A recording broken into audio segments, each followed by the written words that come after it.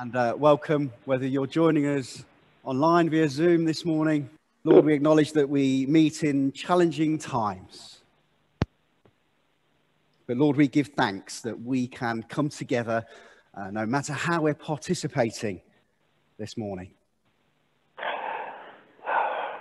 And Lord, it is our prayer today as we celebrate the fourth Sunday in Advent that we might experience and know something of your love and your peace this morning. Lord, would you just be with us? Minister your love and grace to us, and may we celebrate your name this morning. In Jesus' name, amen. Amen. So before we start this morning, um, thought I'd share with you all that we received a, a Christmas card uh, sent to us all from uh, Pete and Sue, uh, who used to minister here at uh, Queensberry. So I'll just read the message that uh, was in the card that they sent to us. Hi all, a bizarre year for us all, but hope you are well. We are looking forward to visiting Nottingham once again when we are free to travel. As you heard, we lost mum to COVID. She was 99 years old, but we were able to nurse her at her home for the last month of her life. So we're able to stay and say our goodbyes. Lots of love and God's leading and blessing be upon you all. Pete and Sue.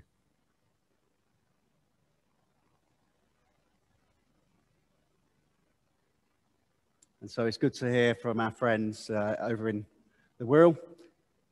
And um, of course, we, we send our love, our peace, and the blessings of Christmas back to them. And as we start this morning, uh, we're going to start with a uh, Christmas carol. And so the worship are going to lead us as we sing together at home, sadly, uh, not in church, um, the Calypso Carol. Thank you.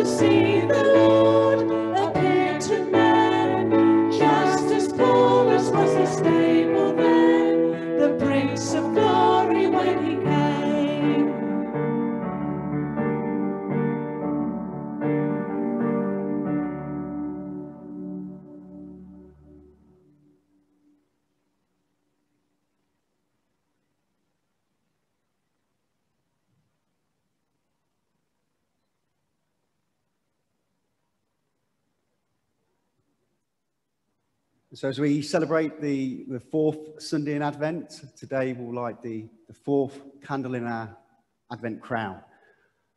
And this is where I could do with James being at the side of me because he'd be saying, Dad, it's, it's not hope, it's peace, it's not joy, it's love. Um, he'd be able to tell me which order to light them in. So uh, let's hope I get this right. So we'll light our, our first candle, which we celebrated as the candle of hope. And our second candle, the candle of peace. The candle of joy. And finally, today, the candle signifying Jesus' love for us. And then on Christmas Eve or Christmas Day, we'll light the center candle, candle signifying Christ. Unfortunately, we won't be doing that here in church this year. And so, what I'd like you to encourage you to do is if you have your own Advent crown at home, then light that center candle as a family and come together and celebrate and pray as you light that candle. And uh, if you don't have your own Advent crown, then it doesn't need to be a crown. It could just be one single candle that you come together on Christmas Eve or Christmas Day to light and to acknowledge the coming of our Savior Jesus. And so, in response to the love that we know that is on offer, our worship team are going to lead us in song and praise as we sing. Jesus, lover of my soul.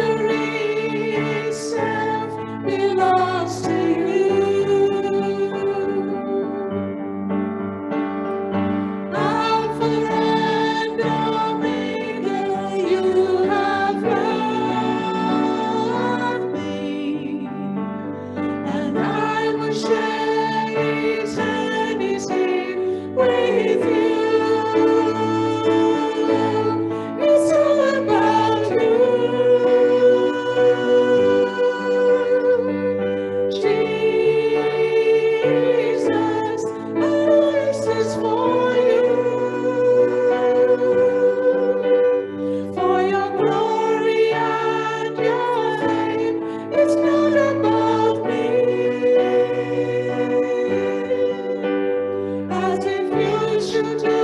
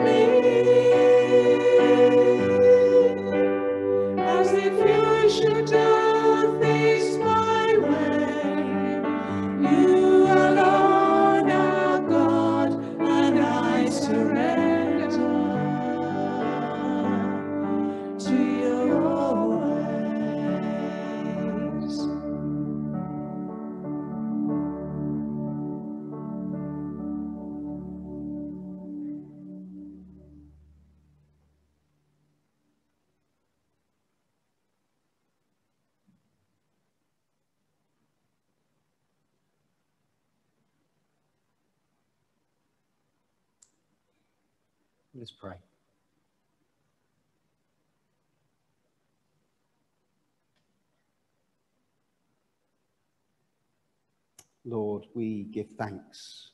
We give thanks for Advent. We give thanks that we have a time to prepare for the coming of our King.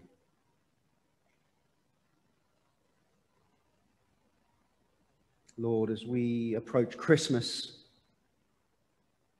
we ask for forgiveness if we've lost our way. We ask for forgiveness if perhaps our Christmas has been overtaken by the giving of gifts, socializing with family and friends, overindulging in earthly delights. Lord, we pray that this Christmas we might once again return to the very foundations, the very truth of what Christmas is and what it signifies. Lord, as we journey through unknown and challenging times, let us turn to you. Lord, as we look at our nation, we see people in fear. We see an, an economy shattered. We see panic and confusion. And we see hurt, pain, and suffering. Lord, as our nation is brought to its knees in the face of this pandemic, may we personally also be brought to our knees. Because when we are there, when we are on our knees, recognizing our weakness, accepting our vulnerability, we also realize it's the perfect place to be for the time we find ourselves in. And so, Lord, as we kneel before you, as we complete our journey through the advent of 2020, we call out in your name. We accept that alone we are powerless. Powerless, but for the truth, the glory, the miracle of Christmas.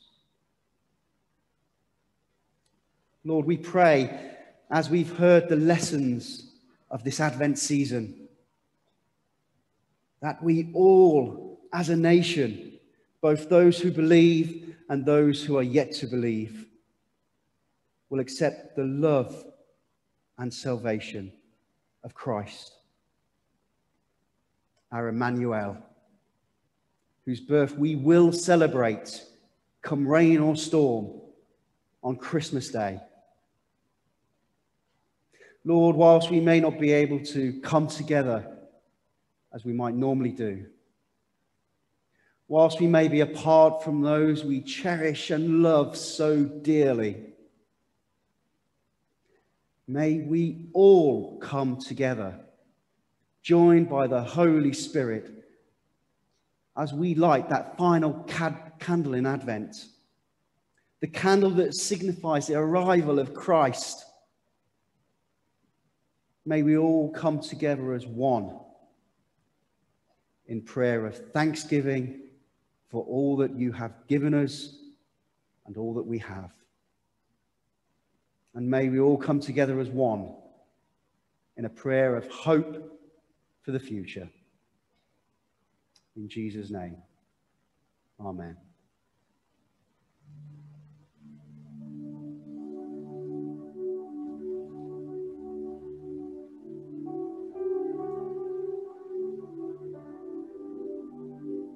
As you've picked up your morning paper this morning, or as you've turned on the news,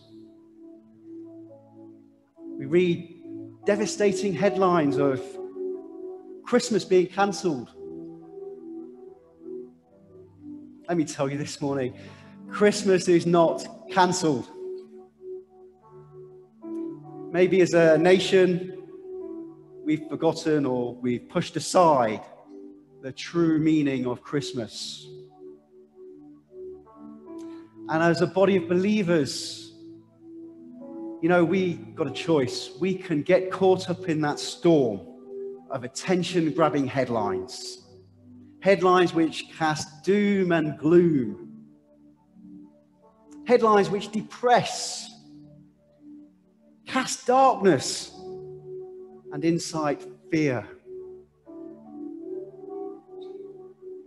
And although we recognize there are those that are struggling in these dark times, there are those who are very lonely. We say to them, You are not alone. This Christmas, no, you are not alone. As believers, we can choose to offer a different perspective. We can choose to share the hope that is on offer We can choose to share the peace our Savior brings. We can choose to share the joy of the Christmas story.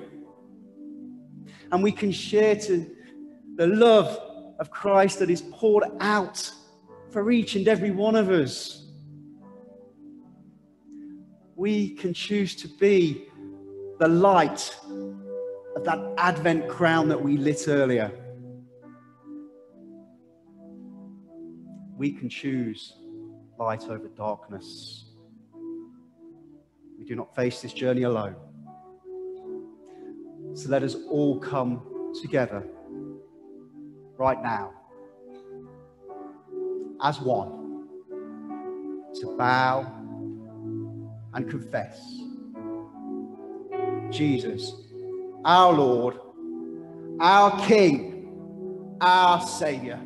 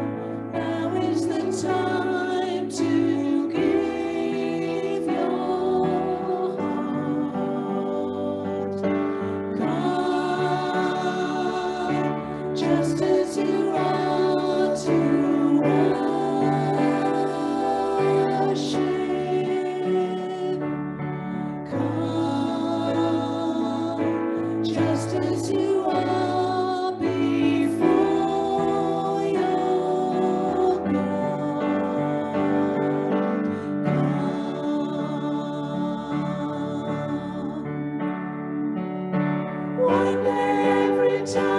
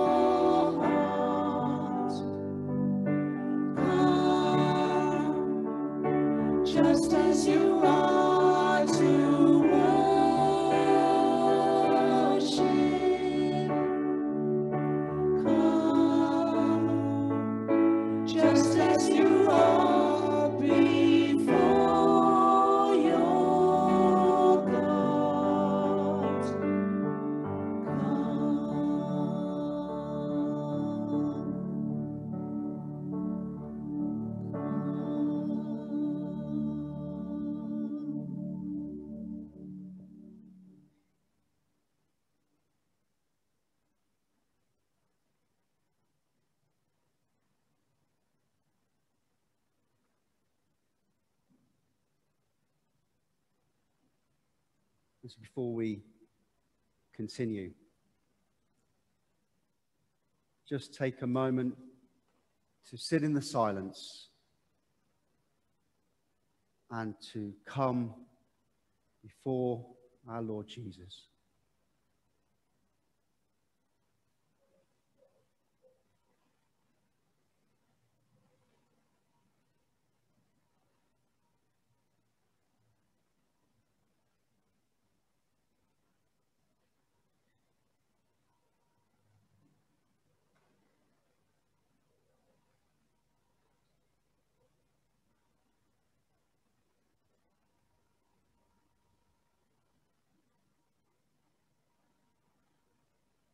Lord, we pray that this Christmas many more will come.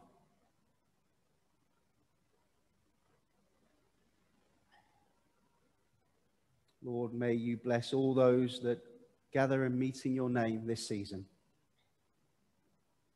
May the truth of the gospel reach far and wide.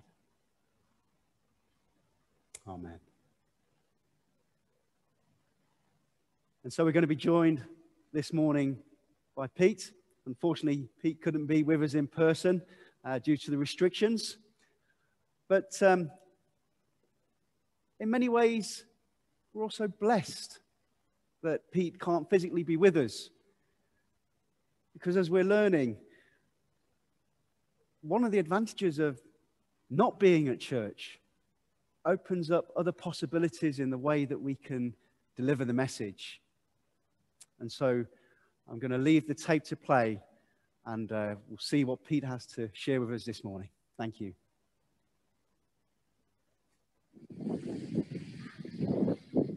Hello, my QBC friends. It's Christmas! Well, nearly. It's Advent. And I have the great privilege this morning of talking to you about love as the Advent theme. Now, if you're looking for the story of Christmas in the Bible, then you're going to go to one or two places. You're going to go to the Gospel of Matthew, where Matthew spends um, a lot of the time of the birth narrative establishing that Jesus is the one that everyone's been waiting for. He starts with the genealogy and then he looks at all the, the prophecies that are fulfilled through Jesus' birth. He looks at um, Joseph and the effects on him. The, the other place you'll look is the Gospel of Luke, um, based mainly on Mary's recollections and her thoughts and seen through her eyes. Uh, it starts with um, Elizabeth and Zechariah and the birth of John the Baptist. And it begins to establish the main central themes of Luke's gospel, which is who is Jesus? Who is he? Why did he come? What is his purpose?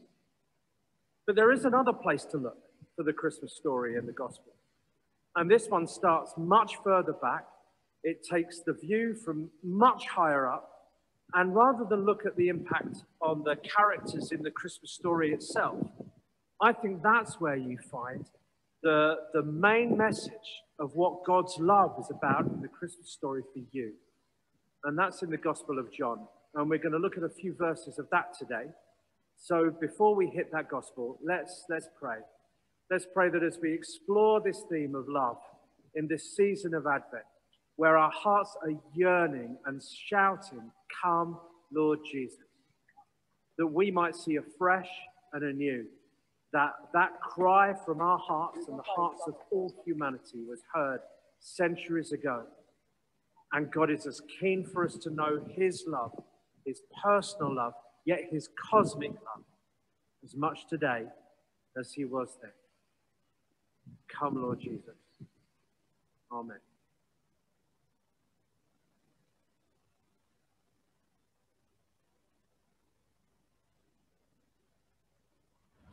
I wonder if you've ever seen the program Back to the Shop Floor. You've, you've probably heard of it, even if you haven't seen it. Uh, but basically, what happens is one of the, the very top bosses of a company goes down anonymously and takes on the job of one of the lowest paid, lowest status workers.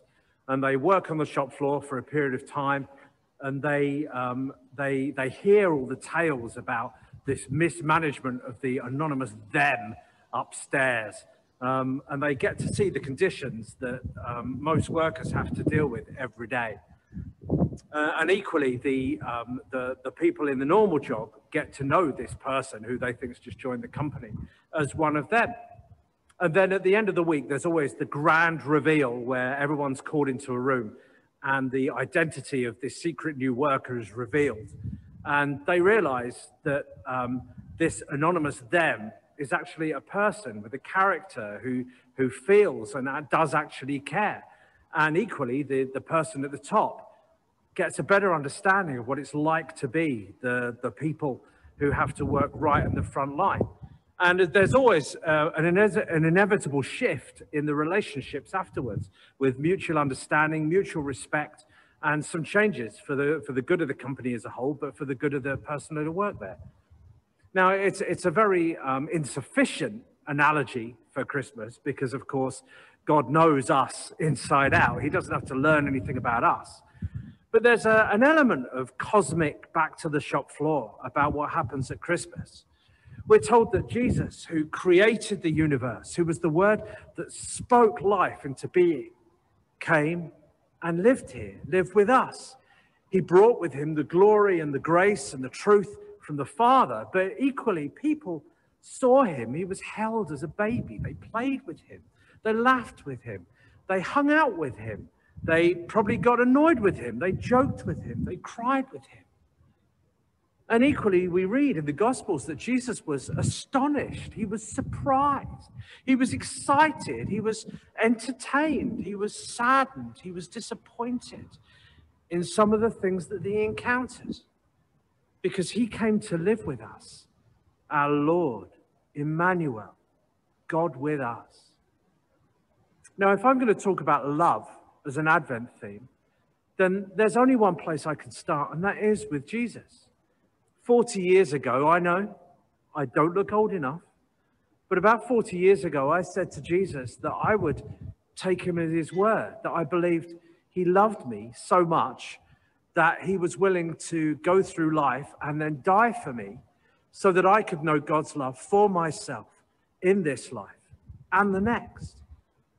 And as I look back over those 40 years, as many of you can look back over years gone by, I've blown it many times. And I've had to deal with the sadnesses of life, just like everybody else does. But I have seen God's love as a constant companion through it all.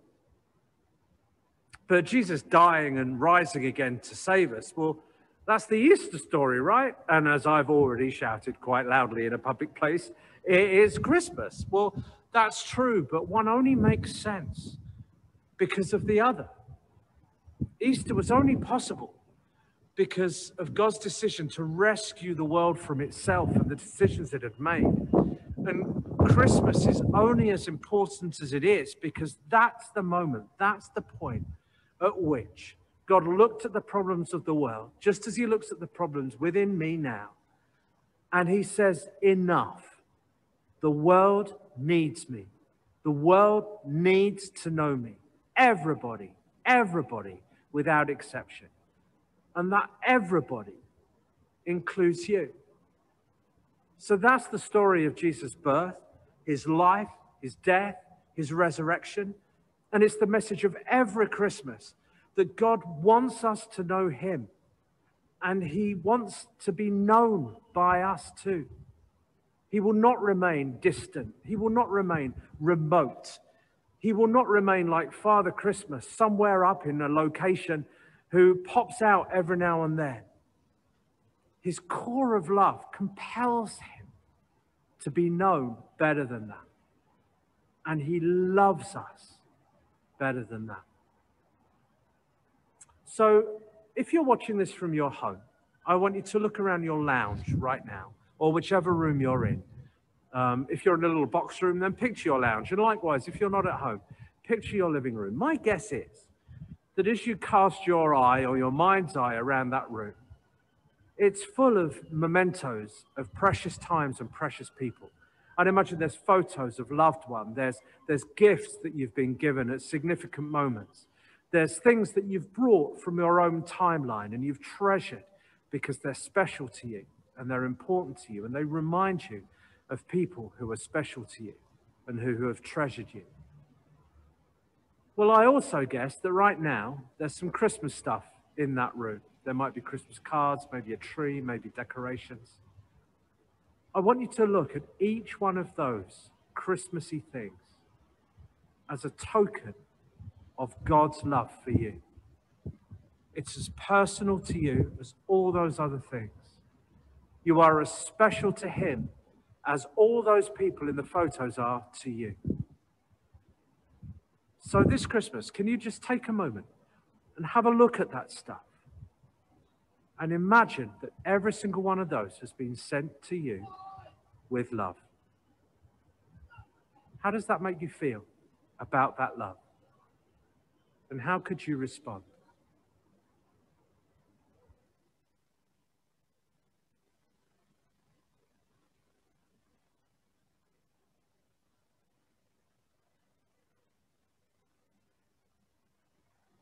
So these verses from John make it very clear that God does want to be known. And that's the ultimate act of love. Indifference is the opposite of love, not always hate. If God was indifferent to us, if he was remote and stayed far away and made no effort to bridge the gap between us, then that would be the opposite of love. And so he does the opposite. Uh, I wonder if sometimes, like you, you can fall into the trap, as, as I do sometimes, of believing that God is a, a bigger, magnified, cosmic version of me. So when the world is not going as I want it to, when God isn't behaving himself, as I can see it sometimes, and doing what I would want him to do, I, I treat him as if it's one of my human friends that's got it wrong. Uh, what's, what's wrong with you? Where are you? Why are you doing this? Why aren't you helping me? Why aren't you with me in this? And I, I, can think that God is having some kind of tantrum or he's withdrawn himself from me to, to teach me a lesson or to, um, to, to get himself together. I, I impose on him the same needy reactions to life that I can have, as if he is just a cosmic version of my own emotionally needy responses to life. But this, of course, is, is nonsense we're, we're told endlessly in Scripture that God is, is not this. He's not like us in that way. We might be made in his image in the sense of our, our spirit and our soul and our ability to relate to him. But his ways are not our ways. His thoughts are high and above. He is the absolute core, the center of mercy and truth and love. I don't know about you, but that's, that's not me. He doesn't want to remain distant and detached. He wants to be known, which is what Christmas is all about. But it's nothing new. Think of the story of Adam and Eve. When Adam and Eve blew it completely and everything went wrong, Then the first thing God did was look for them. He came to them. He shouted, Adam, where are you? But not because he had lost Adam. He's God. He knew where Adam was. He was asking Adam, Where are you? Do you know? Do you know that you've gone away from me? Do you know that you're now separated from me? Adam, where are you? And Adam responded with words of, of both um, deceit and blame, but also shame and nakedness. And from that moment through to Christmas, through to us today, God has been seeking to be made known again. And the ultimate expression of that was when Jesus himself was born. God in human form, when he, he walked among us, when humans were able to hear his words of love, to speak to him, to see what a loving life really looked like. And because of the life he lived and the death he died, it's possible for us to know God again and be known by him. And one of the ways Jesus made that clear is he described himself as the light of the world, something that could be seen in darkness. And the reason that that's really important is because he then went on to call us, his followers, lights of the world, because it says others look at us that they can then see Jesus in our lives, in our words, not because of who we are, but because if you spend enough time in a close relationship with the Father, it begins to rub off. If you spend enough time in the light, then you begin to shine.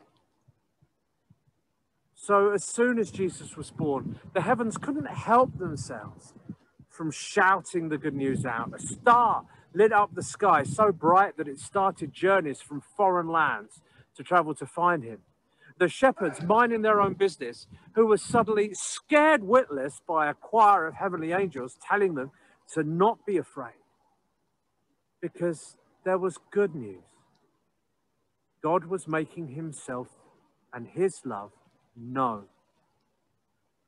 And this Christmas is no different. There's a lot of talk about the role of the shepherds in the Christmas story, particularly as to why they were the first to be told. Uh, there's plenty of very good explanations. Uh, they were the storytellers of their day. They were the way that messages were spread from one village to another.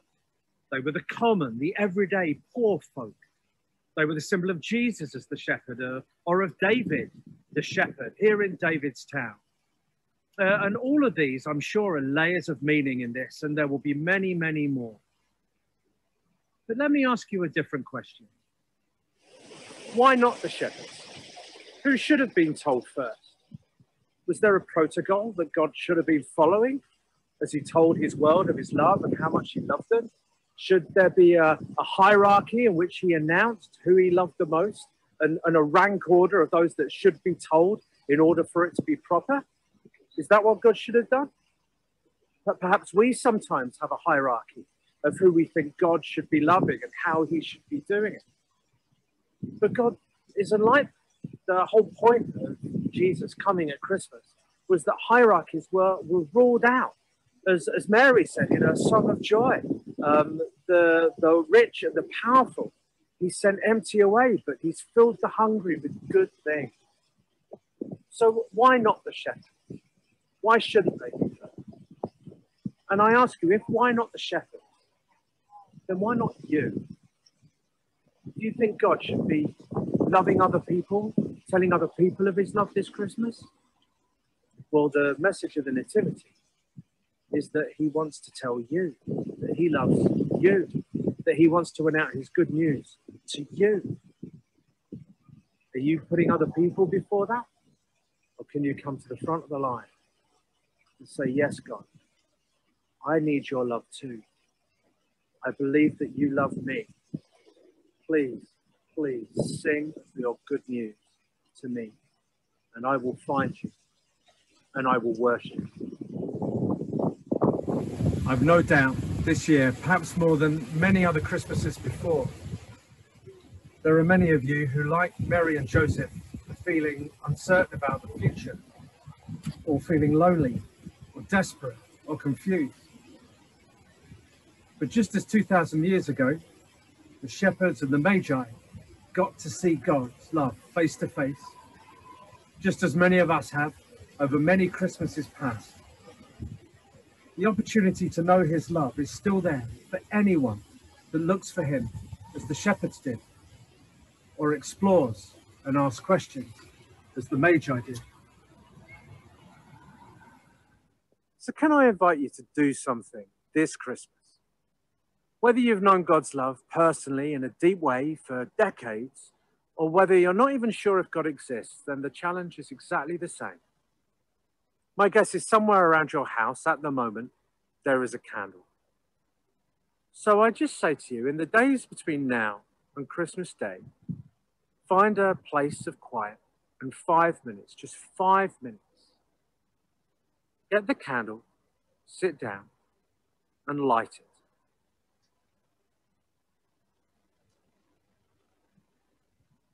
And as you look at the flame, just say in the words that you're comfortable with God, show me how much you love me. Just that.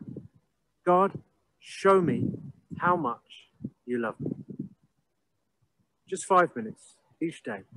Let the time go, let it pass as it will. Let your words and your thoughts form. See where it takes you. You've got nothing to lose, maybe you've got everything to gain.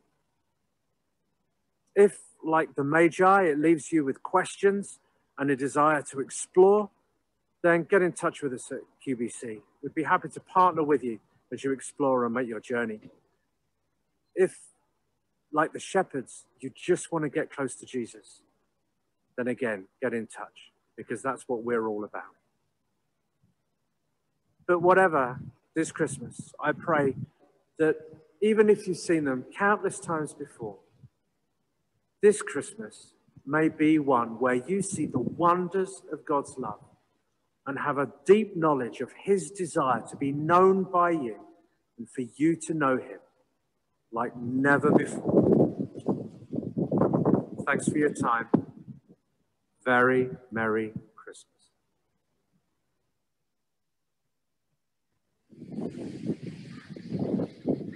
Hello, my QBC friends. It's Christmas!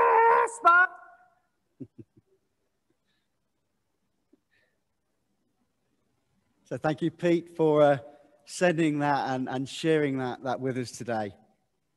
And I think it's only right that uh, we now take time to respond uh, to that message. And so we're going to put some words upon the screen. I'm going to read the bits in white. And if you'd all like to join in uh, with the text that appears in yellow. Let the love that shaped earth and heaven dwell within us this Christmas. Let the love that created humanity dwell within us this Christmas. Let the love that overcomes suffering and hatred dwell within us this Christmas.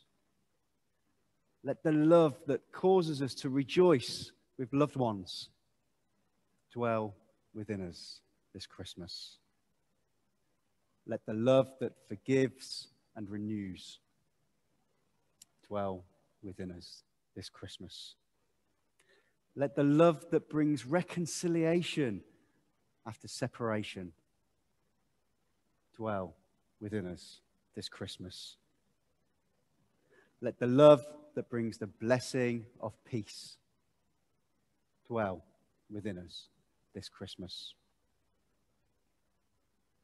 And may we share that peace with all people, near and far. Amen. And so we're going to sing our final carol for this morning Angels from the Realm of Glory. And then I do hope that uh, you'll join QBC later this afternoon online on our YouTube channel at 5 p.m., where we will be premiering our carol service, and invitations will be going out for that uh, via email after this morning service. Thank you.